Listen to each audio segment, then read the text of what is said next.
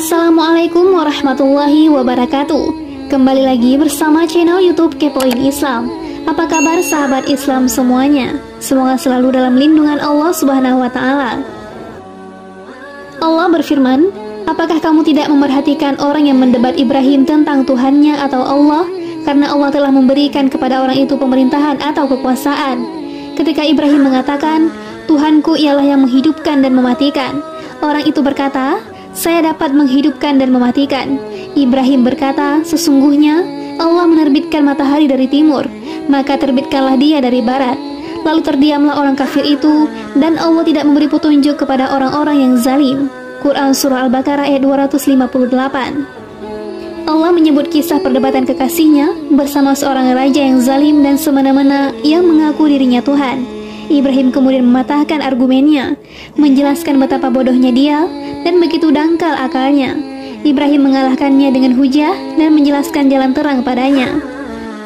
Para ahli tafsir, ahli nasab, dan sejarah menyebutkan raja yang dimaksud adalah Raja Babylon, namanya Namrud bin Kan'an bin Kausi bin Sam bin Nuh, seperti disampaikan Mujahid.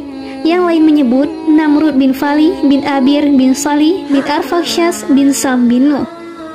Mujahid lainnya menyebutkan ia adalah salah seorang raja dunia karena seperti yang disebutkan para ahli, hanya ada empat raja yang besar di dunia, dua di antaranya mukmin dan dua lainnya kafir.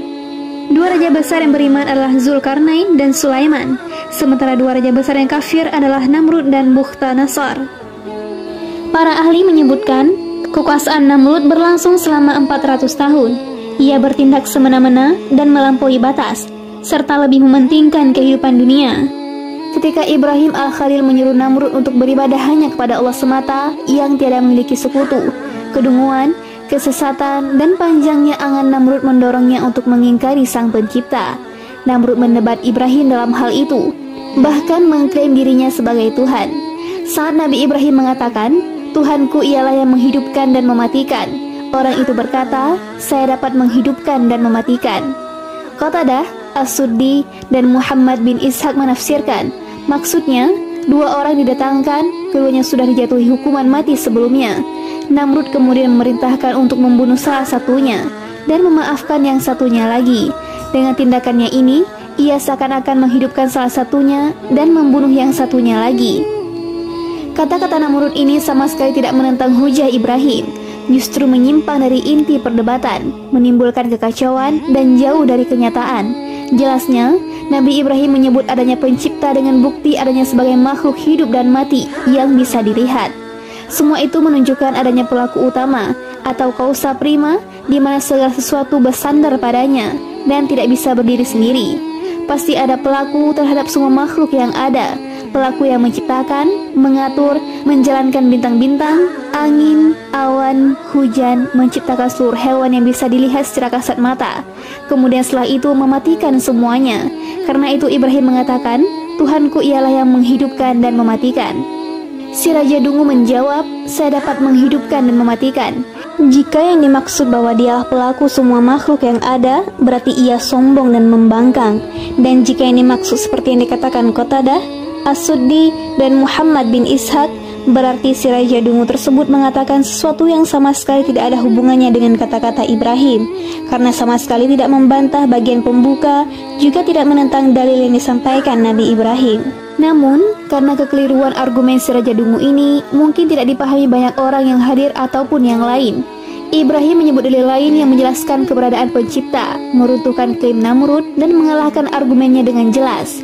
Ibrahim berkata, Sesungguhnya Allah menerbitkan matahari dari timur, maka terbitkanlah dia dari barat.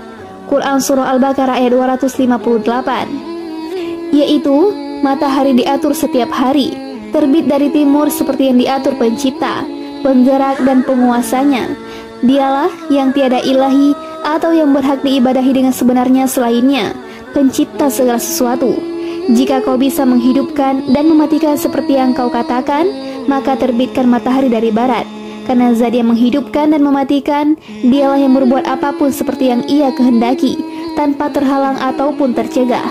Ia mengalahkan segala-galanya, apa pun tunduk padanya. Jika kau memang seperti itu, silahkan kau lakukan itu. Jika tidak bisa, berarti kau tidak seperti yang kau katakan.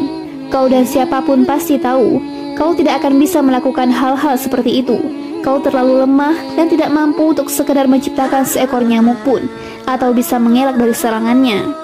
Ibrahim menjelaskan kesesatan, kebodohan, dan kebohongan Namrud yang mengaku sebagai Tuhan, menjelaskan kekeliruan jalan yang ia tempuh, dan sikap membanggakan diri di hadapan para kaumnya yang bodoh. Namrud tidak lagi bisa menjawab kata-kata Ibrahim, hanya terdiam seribu bahasa. Karena itu Allah berfirman, Lalu terdiamlah orang kafir itu, dan Allah tidak memberi petunjuk kepada orang-orang yang zalim. Quran Surah Al-Baqarah ayat 258 As-Sudi menyebutkan, perdebatan Ibrahim dengan Namrud ini terjadi pada hari setelah Ibrahim keluar dari kobaran api. Ibrahim belum pernah bertemu sebelumnya, kemudian terjadilah perdebatan ini.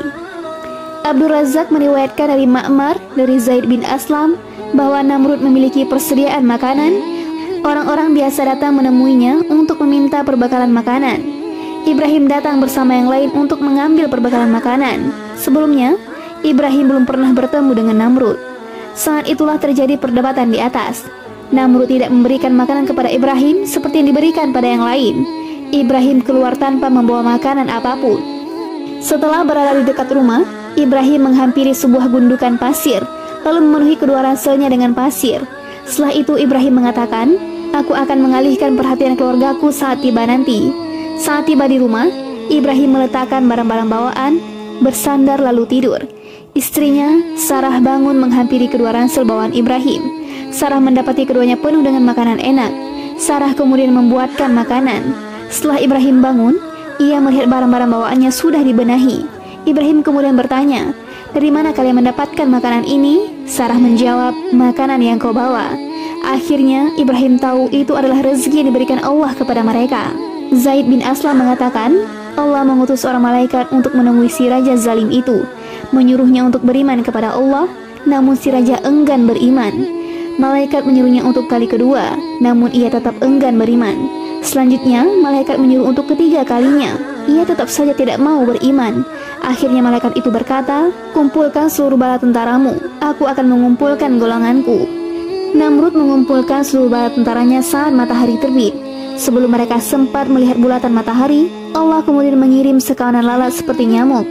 Allah menguasakan lalat-lalat tersebut atas mereka, memakan daging dan darah mereka. Mereka kemudian dibiarkan dalam wujud berupa tulang belulang rapuh. Seekor lalat masuk ke hidung si Raja Bengis itu dan bertahan di sana selama 400 tahun lamanya. Allah menyiksanya dengan lalat itu.